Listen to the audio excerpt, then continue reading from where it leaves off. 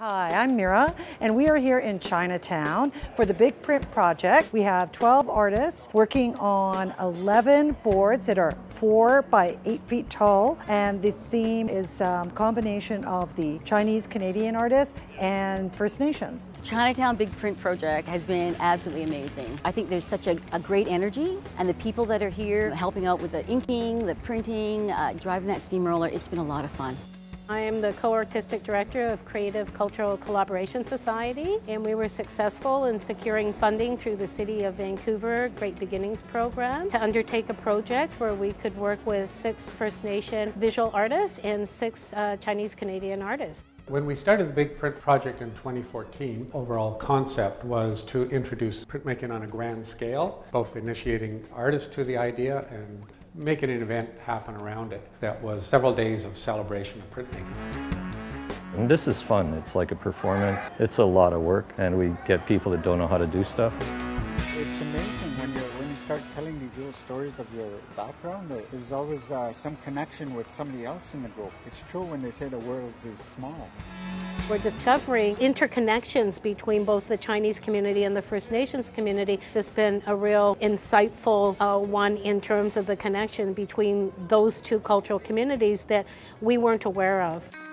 So it was great to be called on and to be a part of this 2016 Big Print project. Great location and a great opportunity for me to share both my cultures, um, being half Chinese and from the Squamish Nation. What a good idea to talk about the relationships in the past between both uh, the First Nations community and the Chinese community, which is more separate nowadays, but in the past the two communities were very connected, so there was intermarriage between the two cultures. Thematically, what was interesting was bringing together these two distinct groups to reflect something of that history and that kind of cultural fusion between the Aboriginal and Chinese communities. There's a real camaraderie down here. This whole thing is that idea. I wanted to engage people in making prints. You know, making it as an artist, it's about being a good artist and working on your craft, but it's also about being in the community, paying your dues to the community and being involved. You learn more when you work within a community setting than you ever do in working by yourself. We collaborate in an invisible way, but at the same time, uh, when we're ready, we get together and it's great synergy that's happening. I was really thrilled to work with other artists and it's also great to be part of a team where everybody's really excited about helping out and printing. It's always way more rewarding. Working in collaboration with other artists, community groups, I think it, um, it brings a richness to the project.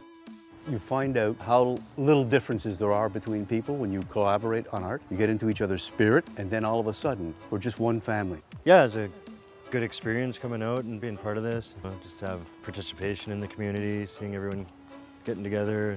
Yeah, the more everyone gets to know each other, different backgrounds, I think there's a lot of similarities we can all find.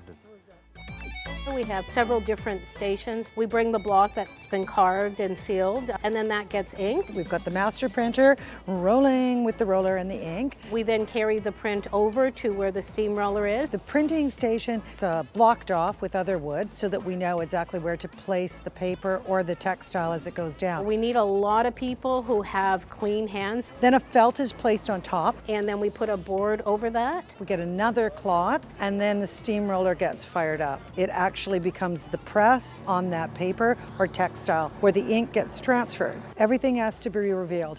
And the reveal comes with a nice peeling back of the textile or the paper and you end up seeing this amazing print.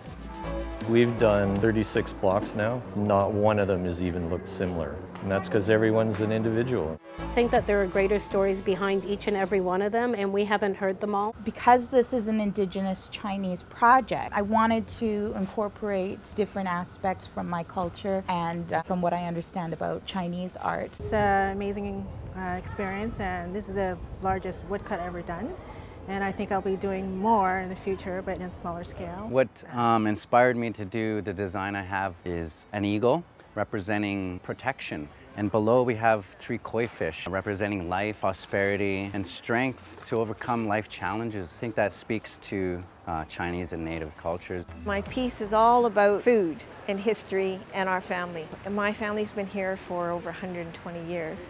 And I chose ginger because it's the root of all Chinese cooking.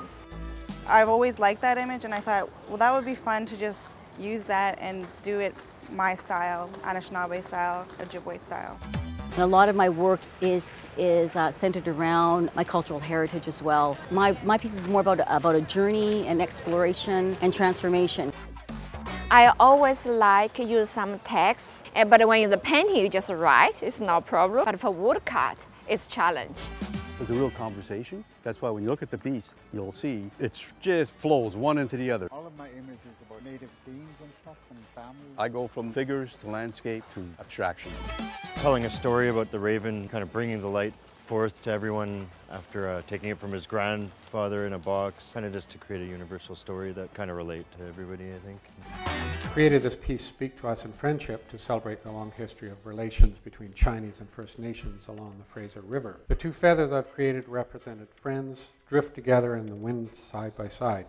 Our ancestors knew that walking together with a friend in the dark is better than walking alone in the light. While creating this piece, I was thinking about the closeness of friends, past and present between both of our cultures. To watch a steamroller do this printing, I think it was really exciting for, for mostly everybody who came too. They come and there's so much interest in it and it's just really to engage with them, right? And, and some people have been coming back every day, so it's, uh, it just goes to show that there's a, a huge interest in this. In the last three days, meet some people come here. Some, a lady comes three days every day because she told me she learned a lot from us because she saw all the process. What's interesting is that the public has followed that process, so they go with us from one station to the next. Bring the block over and then we layer it and it takes so much time and so much work and so much effort to get to that, to that point. But I'll tell you, it's all worth it because once we start to take the layers off again and we just peek under the corner just to make sure that it's been registered properly and we just slowly start to unveil and the reveal is just such a beautiful moment for us all.